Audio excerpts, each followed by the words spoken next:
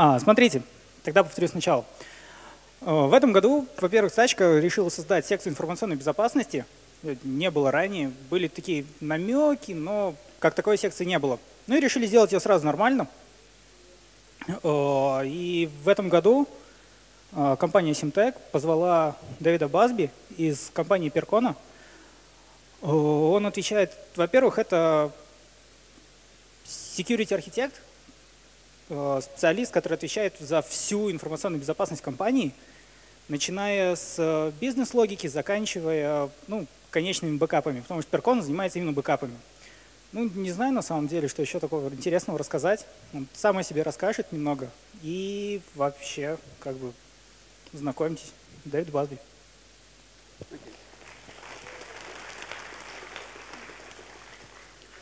Okay, unfortunately this is all going to be in English because I don't speak a word of Russian. So, hello.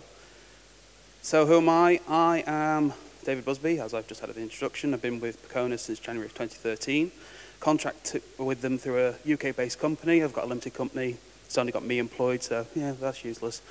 Um, 17 some years as a sysadmin slash DevOps, hacking around, just breaking into code, breaking into websites. Some clients like it, some clients don't, funnily enough. Um, I've been a jiu-jitsu instructor since I was age 12. I've got a second Dan black belt in Jiu-Jitsu and I teach for a local non-for-profit club. I also volunteer to teach kids computing at a local UK secondary school. Um, we teach on the Raspberry, we teach from scratch, Python, Minecraft APIs. We did some Node.js um, car project where we had the Node.js server stream back some media while it was riding around on the car. The school Wi-Fi was terrible. Ask me about it later, I'll tell you all about it.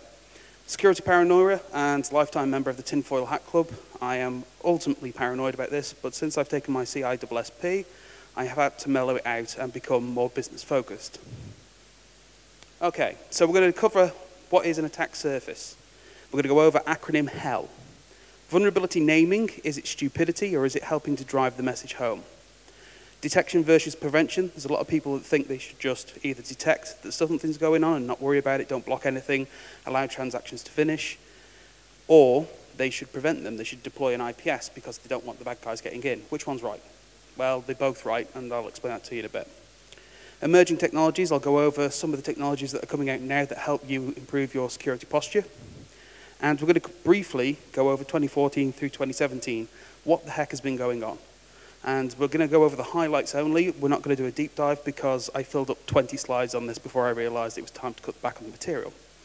Um, we're going to go over a live compromise, at which point I will swap laptops and I will actually break into a Linux LAMP stack running over two servers. And if that fails, I've got a video. Okay, so what is an attack surface? It's, an, uh, it's a point at which you or your application or your database or your physical systems, your network, your employees, that's your biggest part, or the hosting provider can be attacked. So going over the application, I shouldn't have to tell this. Hopefully anybody with any development experience knows. You should sanitize all user inputs. There's no excuse for that. You have to sanitize all user inputs. You have to make sure that what's going into your system has been run through some logic to ensure that it's not going to be SQL injection. It's not going to be stored XSS. It's not going to be stored cross-site request forgery, etc. Um, have a look at deploying a web application firewall. You can use mod security, and you give that as an example here. You can run it in detect-only mode. Once you run it in detect-only mode, it's going to report only. It's not going to block any transactions to your website. I have run it in detect-only mode before, and it's told me that if I switch it on, I'm going to just completely annihilate the site. Which, I, when I took it offline and tested, that's exactly what happened. Okay, IPS. If you have an IPS or an intrusion prevention system, do not leave it in intrusion detection mode. Why are you paying for an intrusion prevention system if you have not put it in prevention mode? It doesn't make any sense. They can run in IDS mode, that's true, and that's report only, but I'll go into that in a bit more detail shortly. So, recurring audit procedures. Um, everybody go bangs on about recurring, recurring audit procedures. What the hell does that even mean? Do I really have to download all of my logs, spend two days reading through every single transaction just to make sure that everything going through the web application is absolutely fine? No, you don't if you have a procedure in place so that you're actually getting these feeds in real time, you're pretty much fine. And I don't mean just spew everything to you like drinking from the fire hose. I, for instance, work with Slack and I work with Papertrail, which is a software as a, um, software as a service that provides logging and Elasticsearch type functionality. But it has hooks based into that. So I have that feed every 10 minutes a digest of the IDS logs over to a security channel. And on there, I will have a look at those in the morning, scroll through them, block about 20 network ranges from China because they're brute forcing our systems, or attempting to. We don't use passwords, we just use SSH keys and two-factor authentication, but they haven't actually gotten the message that trying to brute force username and password is not going to work. So, blacklist them. Mandatory access controls. A lot of people have a look at SE Linux and go off. This blog told me to turn it off. My website doesn't work. My application doesn't work. My database doesn't work. If you're turning it off, you're doing it wrong. You need to understand the technology. Don't be afraid of it.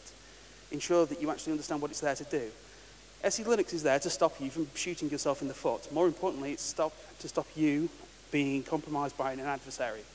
The live demo that I will give, when SE Linux is turned on, doesn't work. I will tell you that now. I have to disable SE Linux using Ansible playbooks for it to even work. So, ingress and egress controls. Again, something you'll probably hear a lot of. They are firewall rules. What comes in and what goes out. IP tables. Every single system, every Linux system's got uh, IP tables on it. Use them. Okay, what about database? You have to do, go through some network segregation. You have to do this with PCI anyway. What that means is you have to separate the network that it's on. Um, in simplest terms, if you deploy IP tables, you can deploy a new chain, and you can only allow access to 3306 if it's MySQL. If you're using MongoDB, Postgres, or something else, the port will be different. Selective grants, this is going back onto MySQL terminology. This is the permissions that you create the database users with. If your database user has too many permissions, you're going to get your database application, sorry, your web application owned. Pure and simple. I'm going to abuse that in a moment with the grant all. Grant all, in MySQL terminology, gives them the super permission. It gives them the create routine permission. It also gives them the file permission. So what I do there is I write a malicious UDF out to the file system.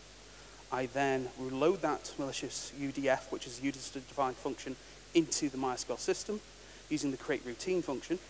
And with the super privilege, if I wanted to do it, nothing else, and I just wanted to be a script kiddie that's got access to your system, I could just troll the hell out of you. Because with that user that's got super, I can kill any query. I can reset any slave. I can reset any master. I can change bin log names, permissions, whatever, especially with file. So you want to avoid identified by plain text password. What I mean by that is your DBAs or your sysadmins or whoever the hell is actually working on the system is going to log in and they're going to create a user. When they do that, that SQL is written to a MySQL history file. So if I don't have access to a user that's got the privileges I need to escalate my attack, chances are if I have a look at the history file, there is a user in there that I can use, and the password is right there. You can actually create MySQL users just using a hash of the password. It doesn't stop an attacker getting in, but it slows them down considerably. Egress, ingress and egress controls, we've been through that, that's your firewall. So, limit physical access to your hardware. That should be a no-brainer. But there's a lot of places, small companies, that don't seem to do that.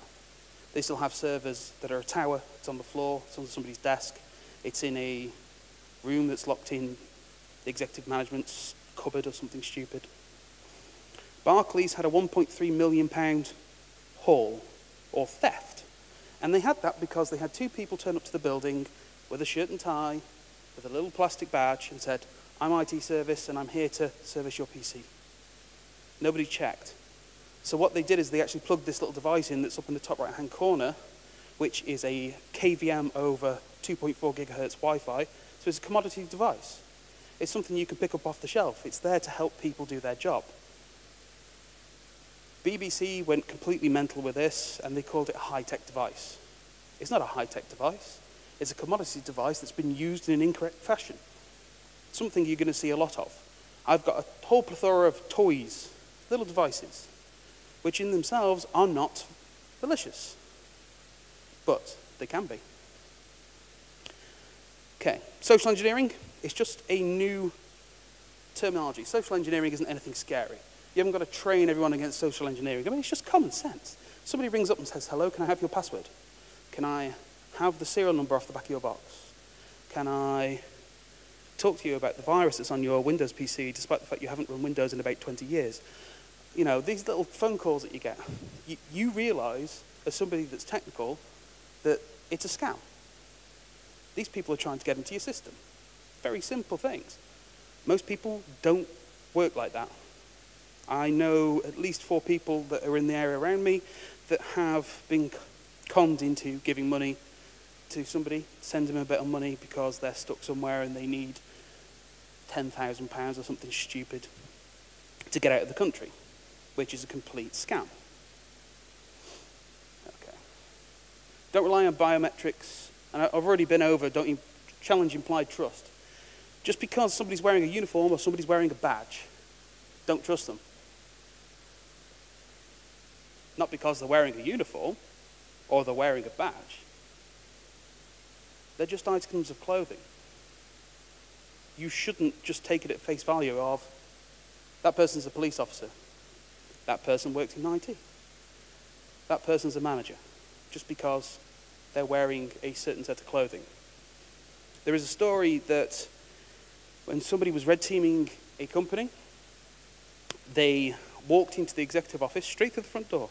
They walked in behind um, in a company where they had RFID tags for all the things. They just cloned a card, went straight through, walked in and sat down in the boardroom. They sat there in the board meeting for an hour and 45 minutes before somebody asked them who they were. At which point they said, I'm from the Pentest company I've been uh, recruited by the CEO. This will be going in my report. Promptly stood up and left. uh, don't rely on biometrics. Everybody just goes on about the newest thing. If you're just deploying biometrics, you're going to get owned as well because Mythbusters had an example where they had a $90,000 biometric unbreakable lock. It sensed moisture levels, it sensed uh, pulse behind the fingerprint, etc. So what they did is they photocopied the valid fingerprint, they licked it, they put it on a real human finger, and then they unlock the lock. $90,000 worth of equipment beaten by a $20 photocopier, $20, $50 photocopier, and a bit of spit. it's terrible. Remove unneeded services from your hardware. I have seen on plenty of occasions Bluetooth D running on rack mount servers for God knows what reason. You don't need it. If you don't need it, get rid of it. There is an exploit out right now, um, Blues or something along those lines, that actually compromises this and allows you to escalate up to root level permissions. Your rack, yeah, there you go. Rack mount server probably doesn't need Bluetooth D. If it does, talk to me later because I have got no idea of anyone that needs to run Bluetooth on a rack mount system. Okay. So here we go, we go over network, selective ACLs. I went through that before. There's a quick IP table as an example of how to create a new chain, only allow access via 3306. If your web server is trying to connect to SSH on the MySQL server, you're doing it wrong. Block it. Doesn't need access. MySQL doesn't need to be accessible from the internet. I have heard this way too many times. From somebody said, I need to be able to access it when I'm at the cafe, or I'm on a mobile phone, or when I'm on holiday, or when I'm sat somewhere where I don't need to be. That's what VPNs are for. Having MySQL exposed to the internet, having Elasticsearch exposed to the internet, having Postgres exposed, any database related service exposed, MongoDB especially, is a bad idea because they will get ransomware. And all the ransomware does is take a backup of all your data, wipe all your data, and put a nice message that says, send me 0.2 bitcoins to this address to get your data back. Segregation, like I said, network separation. If you deploy intrusion prevention, host-based intrusion prevention, for instance, is file integrity enforcement. You need to enforce that files aren't being changed. You can do that you might want to deploy then a network-based IDS, something that's going to tell you everything that's coming in through the network, and then you have intrusion prevention on the host. Research the technologies and mix and match them as you need to. So let's go over employees, or layer 8, or meatware. They are the single largest vulnerability to any company anywhere. Nobody will be able to convince me otherwise. So awareness training. We bang on about awareness training. You've got to be aware of all, all this crap. Got to do this, got to do that. You're a bad person. Uh, one of the best examples I was ever given was when the fox raids the chicken house, do you blame the chickens? No. So why are you blaming your users when they mess up and get malware, get their accounts hacked? If they're not aware of the threat, they can't do anything about it. So rather than beating them with a keyboard, which I know is very tempting, just help them, educate them a little bit. I run phishing campaigns against the company that I work for every four months. I still get about a 20% return on credentials entered, but that's neither here or there. Um, social media betrays a wealth of information. It used to be really hard to find information about people. Really hard. Used to have to spend a few days researching your target before you launch, launch your attack. Now they're just taking a picture of the meal every time and posting it on Instagram or Facebook or Twitter with the location, with the time. So I have a look at a target who's a secretary or an executive assistant at a company, and they have a social media feed on Instagram, and they take a picture of their pumpkin spice latte or whatever the hell it is that they want to drink in the morning every time they stop off at Starbucks. I know where that person is, I know at what time they are there, I know what their job role is because they're on LinkedIn and they love to socialize with everyone. So that's, that's great. So while she's just getting up, getting a refill, laptop, and walk off. Very simple attack, but because the user wasn't aware of it, the whole company's database um, data is now compromised. Bring your own device, I've heard this called bring your own disaster, because it is actually true. Your employees walking around with their own mobile phones, they probably connect to corporate resources like email, Google Drive, or whatever it is that you've got deployed. Um, it, at 44Con, I had a conversation with a few people, and at Percona Live in Santa Clara, I had a conversation with a few people as well.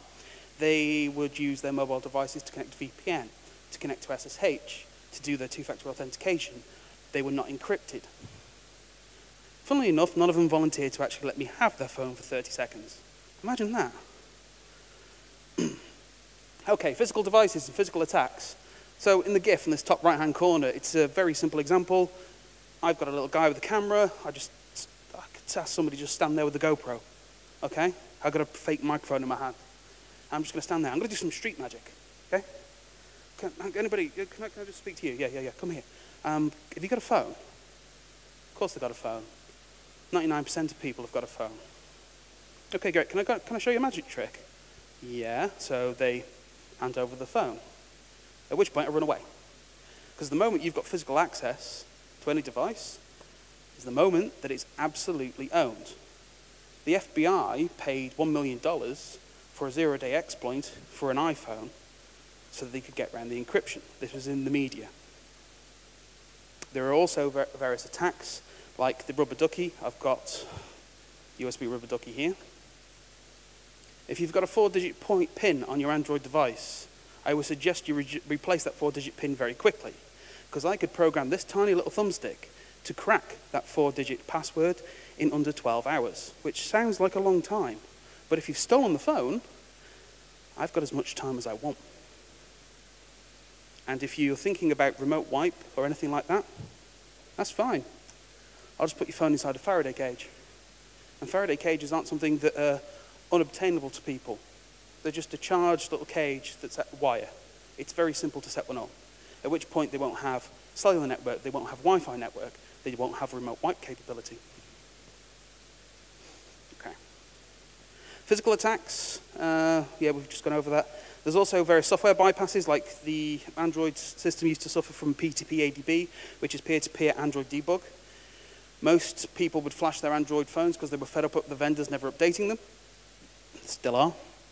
Um, but by default, it would turn on the ADB, which is the Android debug, because there was a lot of crashes in the custom firmwares that were available. So Android debug allows you to dump out the information as to why that particular firmware is crashing and file a bug report or fix the problem yourself. And these are all techies just doing this. It's kind of like when you rooted an iPhone and it had a default password still set on it. Vendor most vendors now, Samsung, um, still have a little hidden debug protocol in the USB connection. I was particularly peeved when I heard about this and had it demonstrated because I've got a Samsung tablet. But the point is that vendors are now trying to find clever ways to be able to still, de still debug their hardware if there's a problem with it. Makes sense from a business point of view, but they leave these things switched on when they ship them to market. What that means is you have a debug interface like a JTAG or an ISC, and uh, when you connect to that, you can actually rip out clear text serial connections directly into the memory. So if this device is powered on, even if it's locked with a pin, the encryption keys, if it has any, are loaded into memory.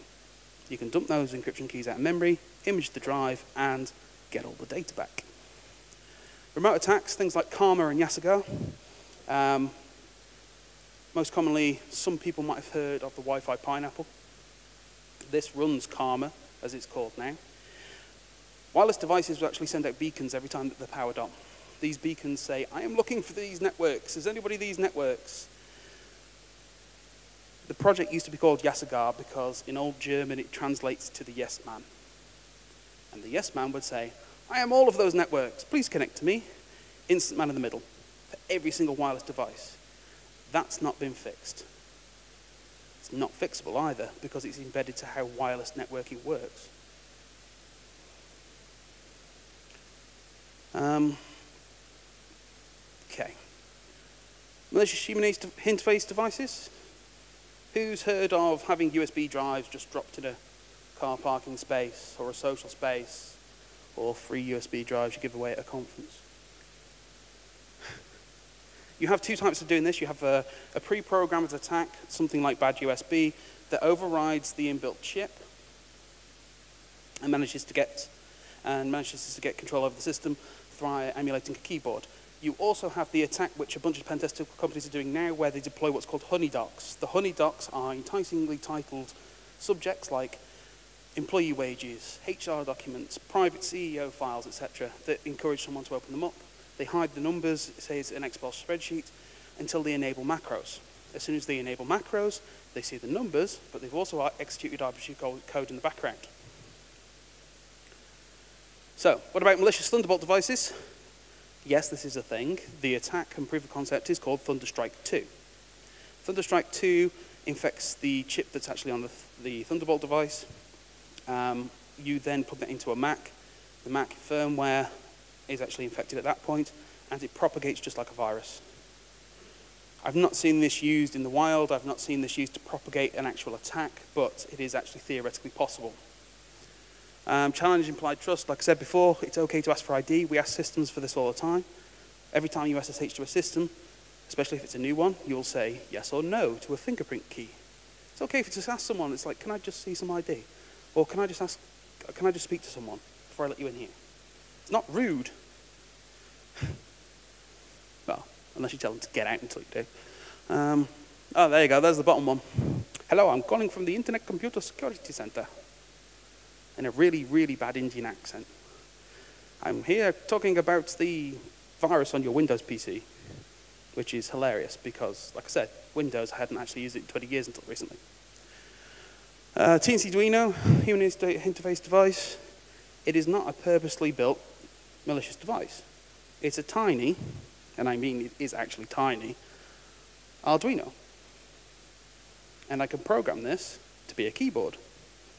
And I can program this to hit keystrokes in less than one millisecond. And it'll go really quick. So these are some commodity devices, and I haven't actually put a picture there. The commodity devices are you can actually buy them from a market. These are very, very cheap. You can program them to be various things. I've got the Bash Bunny, which is brand new, the USB Rubber Ducky, the LAN Turtle, and I've got the Pineapple as well. If you want to speak to me about any of them, I've got them here, and we can go through all of their features. Um, certain allowances must be made, and the reason you must make allowances is because you want to go to sleep at night. You don't want to sit there rocking yourself to sleep thinking, God, what have I got myself into? Why am I working in IT? It's horrible. So you've got to have some trust in services. Um, you, you will ask service providers about their service level agreements, but also check if they've been in through any compliance initiatives, or things like PCI, Sarbanes-Oxley, HIPAA, or anything else that you think might be effective for your business, even if you do not have to be PCI compliant yourself, you still want to know that they've been through the rigor of doing this. It's just a confidence step. Trust in the model, trust in mobile networks, GSM is broken. The GSM protocol for mobile communication has been hacked many times and decrypted. I've seen this show, uh, been shown at a few shows where they actually reassemble the SIP protocol that's running in the background and have the conversations that they were making over that or intercept the text messages. But then, that's why we've got encrypted apps like Signal and Wickr. IDS and IPS, um, it's a HIDS, HIPS, NIDS, NIPS. Host-based intrusion detection system, host-based intrusion prevention system, network-based intrusion detection system, uh, yeah, intrusion detection system, network-based intrusion prevention system. Network deals with the network, host-based deals with files. Some will do both. Uh, SCADA, so the supervisory control and acquisition of data, sorry, acquisition of data, or something along those lines. Hydroelectric, uh, supervisory control and data acquisition. There you go. Hydroelectric dams, metal foundries, all on the internet, where you can control them. Uh, there was an example by Dan Tentler where he talked about the Fumel Dam, which had controls on it to allow you to open the floodgates, which would have been a really bad time for everyone that was living down there. Uh, IoT, or IOT, Internet of Things. Seriously, Wi-Fi enabled light bulb. Stop it. If you work for an IoT company, please just put a firewall on the damn thing. I'm fed up of reading about dishwashers that have path, um, path walking vulnerabilities based in the web server. It's a 2002 CVE for sake. Please fix it. Uh, ACL, PLOP, so access control list, and path of least privilege. Path of least privilege means you only get the access that you actually need. Not, I want root because I want root. As an attacker, that's what I'm going for. I want root because I need it to get to wherever I'm going. But your users do not need root. They do not need sudo. If they say that they do, it's probably because they're being lazy. They want to do their job quickly, and they don't want to be hindered by the excess security that you've got in place. MAC and DAC, mandatory access controls, discretionary access controls. Mandatory access controls are SE Linux, AppArmor, GR Security, they help protect you from shooting yourself in the foot when you've done dumb things with the discretionary access controls, which is your POSIX permissions. If you chmod anything 777, oh, damn it. If you chmod anything 777, yeah, don't. So let's go over vulnerability naming, or is it driving the message home? Because is it dumb or is in it? We've got Poodle, so padding, uh, padding Oracle on downgrade legacy encryption. You've got crime, you've got beast. They are also SSL exploits. You've got Heartbleed and Dirty Cow. Heartbleed abused a buffer overflow vulnerability that pulled secret data out of the SSL. You probably heard about it and probably had to try and patch against it. Dirty Cow would actually allow you to root, write root-owned files that you didn't have permissions to, which is great because if you don't think this can actually lead to privilege escalation, write a cron file and just sit back and wait for the shells to come in it got really bad. Heartbleed virus. Anybody ever heard about the heartbleed virus? This was in the media because they got hold of it. They didn't really understand it. So they called it a virus. It's not a virus. It's a vulnerability. iCloud had a breach. Hospira drug pump had a ble- uh, breach. The Hospira drug pump, if nobody knows, is an insulin pump or it's a drug administering pump. It would deliver morphine for cancer patients, etc. It had remote admin with admin admin as the password in clear text over Telnet, straight on the network. Ransomware's been hitting Elasticsearch, MongoDB, and MySQL, which is why you should not allow it direct access to the internet. Data breaches, Ashley Madison, Wonga.com, Geeked In, Adobe, the list goes on. Windows has a vulnerability, double agent. If you haven't read on this, I suggest that you do if you're using Windows. It's a feature so they're not going to patch it. It allows DLL injection, which is a really bad thing. Uh, Vault 7 documents dropped. If you think that's bad, just go back and have a look at the NSA ANT catalog. IoT vulnerabilities. Seriously, web server on a dishwasher. Why the hell would I want a web server on a dishwasher? Seriously. Even worse, one that's got a directory traversal vulnerability. It's a 2002 vulnerability. Broadcom Wi-Fi chips have various things that attack most popular phones. Uh, this affects the iPhone, it affects the Nexus 6P, for example. Target had a breach that was actually a breach that went into their heating, ventilation, and air conditioning system, where the malware was deployed. The problem is there wasn't a separation of systems, so when the technicians worked on the HVAC system and then went straight back into the corporate network, they took the malware with them. Internet of Things, where minimum viable product is the main driving force until we have a scathing news article or get sued in a class action lawsuit because we're leaking data everywhere. SCADA, supervisory control and data acquisition, we've gone through that already. In other words, stop putting on the internet. Please. Okay, so we're seeing a slow shift towards better security, but we still have some holdouts. Some are fearful about implementing that intrusion prevention system because they don't want to stop anything working.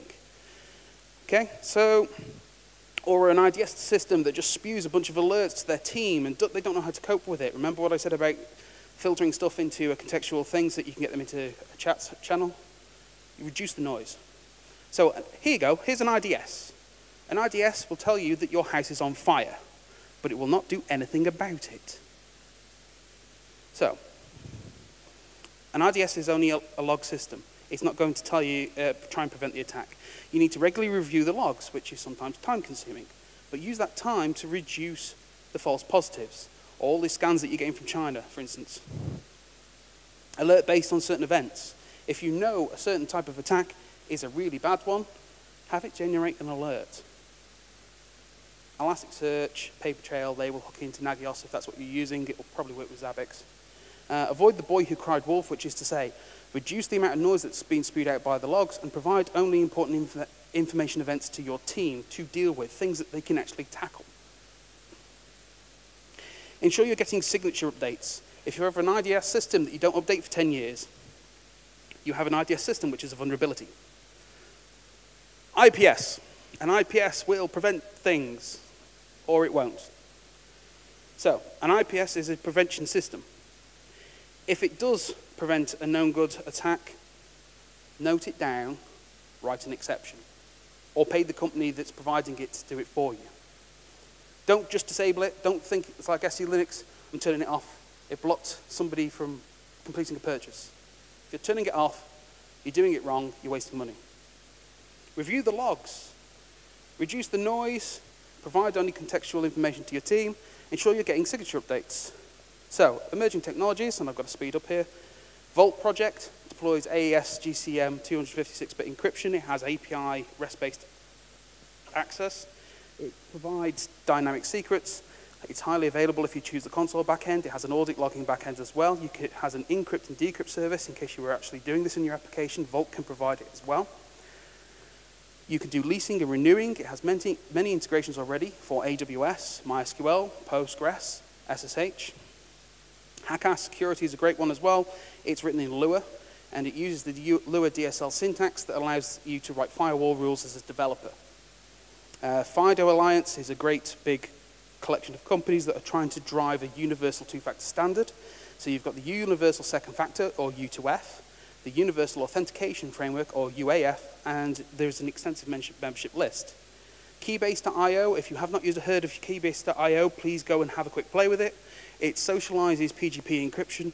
It provides encryption for off-the-record chats. It uses a what they call a paper key for that. It will also allow secure file sharing. Suricata is an open source IDS or it's an open source IPS, an intrusion prevention system or an intrusion detection system. It has JSON outputs, which is useful for Elasticsearch. Filtering the information, getting the information back, writing the rules. Claims to have 10 gigabit support, um, does file extraction from the network stream. It's got a bunch of cool features. OS Query is a good one as well. It allows you to roll out a system that reports back on the information that all of your endpoints are running, the endpoints being your end systems. You know, has it got antivirus? Has it got encryption?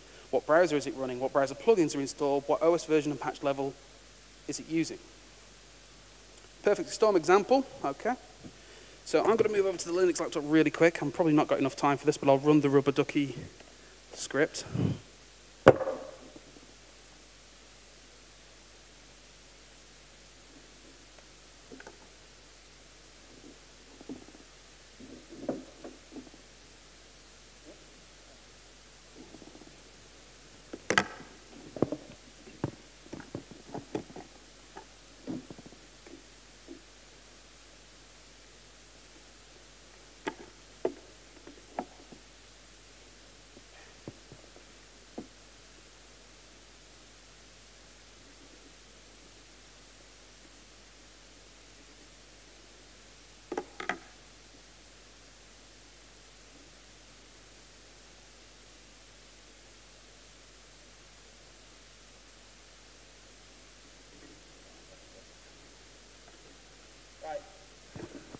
First half of the stack, I'm not actually going to press anything. I'm going to use the bash bunny.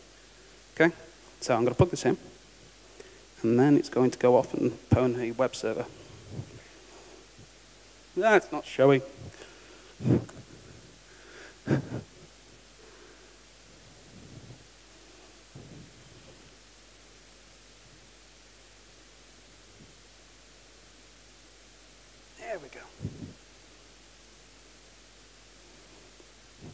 Might have to do that with the window that it'll pop up in a sec.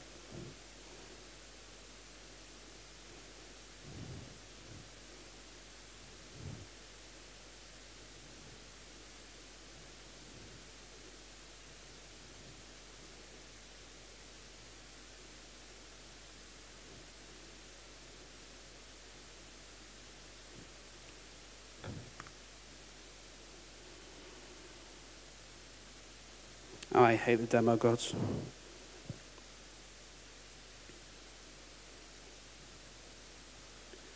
That's why we have backups.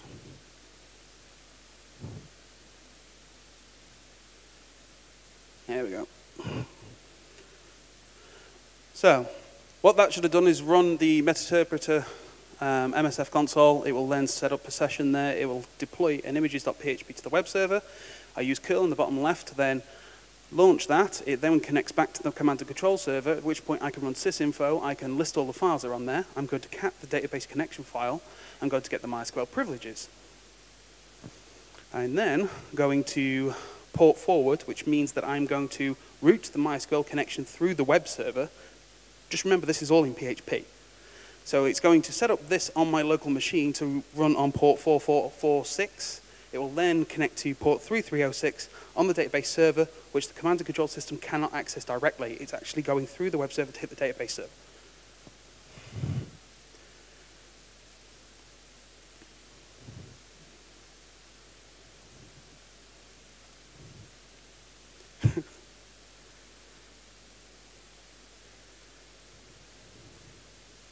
okay. So I'm connected in, and I've got access to the MySQL system. I'm going to check what the databases are, show what my grants are. I'm going to check what my user is, and I'm going to exit. So full list of databases is also got all privileges. Now, despite the fact that the password was actually really, really, really simple, we can now use this to escalate our permissions and actually get a shell back onto the MySQL system. Um, time? Yeah, just keep going. Cool. So what I'm going to do here is I'm going to inject a precompiled UDF, and I've written this out as binary, binary data. I'm going to load this into the MySQL table.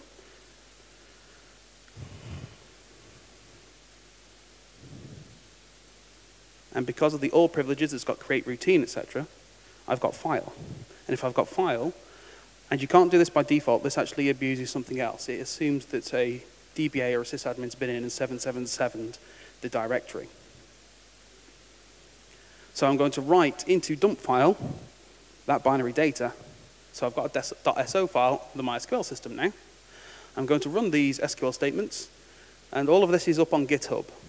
I will provide the slides, they've got the links in it. You can just check this out with Vagrant and it will deploy it. You can have a play with around with it yourself. But what I've done here is I've created the various routines, and as soon as it runs, I've got a bash shell inside the MySQL protocol. I've just run the ID command on the local system. So what I'm going to do is I'm going to use the bash TCP stack. I'm going to have it connect back to the command and control system as a bash shell. And at that point, I've got a shell on the web server, and I've got a shell on the database server as well. You can then go through privilege escalation to get access to root. They've got, both got old kernels on it, so that's very easy to do. Ta-da, bash shell in the top right, which came from the MySQL server, is connected to the command and control system. So I've got access to a separated database server that's been isolated under PCI standards, and I've got access to the web server, and I can do whatever I want. I can take my time now. Okay, so apologies the live demo decided to not run but I will end it there for any questions.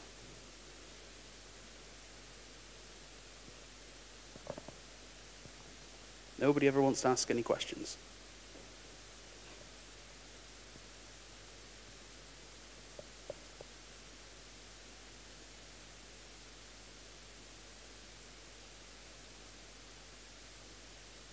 Thank you.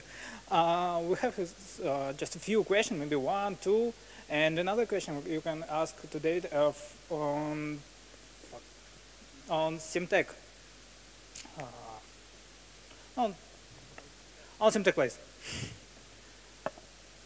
Okay. Anyone have a question? No?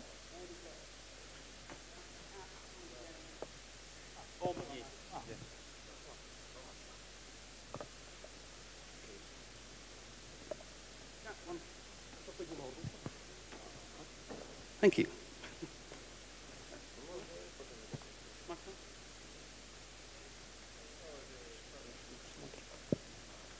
Hello. Hello. Thank you for the presentation. I have two questions for you. They are quick, quick questions. Um, the first one, um, you mentioned a lot of uh, attack vectors, uh, weak points that uh, someone can abuse. Uh, what do you think is the hardest uh, weak point to fix? I mean, uh, just in general, like uh, maybe it's a human factor or it's uh, new zero-day vulnerabilities and so on. Okay. Um, the weakest point, sorry, the hardest weakest point to always fix is your employees. Every single time, there will always be somebody working for you that is the weakest point in the organization. That doesn't mean that you should eject them out of the company. Whilst that would be funny, you should try and train them up. You should try and get them resistant to these type of attacks. I highly encourage all of you to try and fish your company, to try and socially engineer your company. Not only is it actually quite fun, or maybe I'm just a glutton for punishment, it's actually something that will help build their resistance to those type of attacks. Uh, there are a bunch of free stuff online. Uh, if you want to see me later, I'll give you a list of one of the ones that I use. And you can sign up to the system and you can run phishing attacks out. And you can see what the returns are, see who enters the credentials. Thank you. Uh, the other question is about, uh, do you ever feel safe for the system your systems you're responsible for as a security professional, or it's just uh, everyday paranoia about something can happen uh, in a minute? So, from a personal standpoint, no, I'm paranoid. From a CISSP standpoint, I control as much as the business can. So, what I mean by that is, the systems that I am responsible for, I have a bunch of what's called baselines. These are configuration standards that I have developed to say we will deploy SSH in this, in this particular manner. We will deploy Apache in this particular manner. And I have written playbooks to run those and help force configuration consistency. So I've done as much as possible to limit the liability of the company. So Thank you. And the last one, uh, very quick. Um, what is your personal attitude uh, on um, about the people who who are trying to exploit uh, to to make attacks and to those tricks they just create uh, they uh, they're creative sometimes very creative people and I think uh, personally, I can even admire some of the tricks that uh, people uh, create every day to trick other people. Uh, what do you think about it? I think it's great. I love reading about creative attacks. I love reading about certain things where you just think it would never happen in a million years. I love ones with really long chains where they've gone through about 20 steps to get root on something. I, I've on many times, and I've blogged about this on my personal blog several times as well. Um, there was a PHP shell recently that, um, that I saw and a client got attacked with.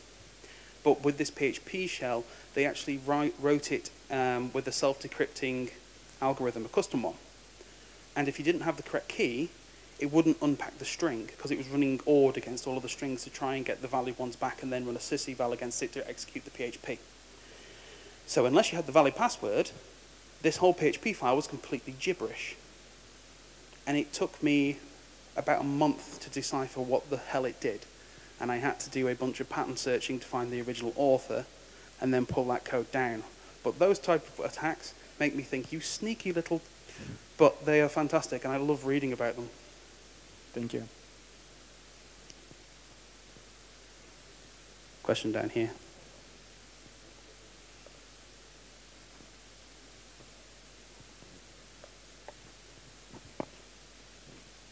Thank you so much for the presentation. Uh, I have a question uh, for the company that works for, in development, and they just started to implementing the security in, for the application they develop. Uh, what is the best um, way to approach this? Because they just uh, learning that there is uh, HTTP certificate, certificates and uh, should be encrypted uh, uh, traffic and what uh, the path um, uh, development team should take to um, uh, lead the client in the right way of establishing security. Okay, so this is an internal application. Is it a web-facing one? Yes, it's a web-facing one. Okay, so take a, do some OS intelligence, some open source intelligence, see what information you can get back. Um, have a look at things like OWASP for their top 10 and see whether or not you can secure the application against that.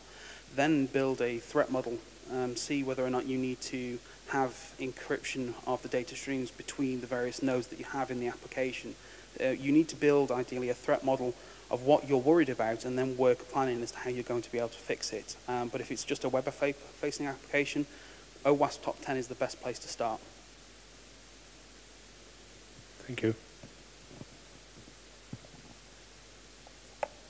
Thank you very much. Okay,